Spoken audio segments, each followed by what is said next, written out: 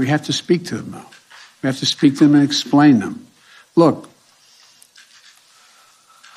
I just think people are at a point, and it's understandable, where there's a whole lot of confusion.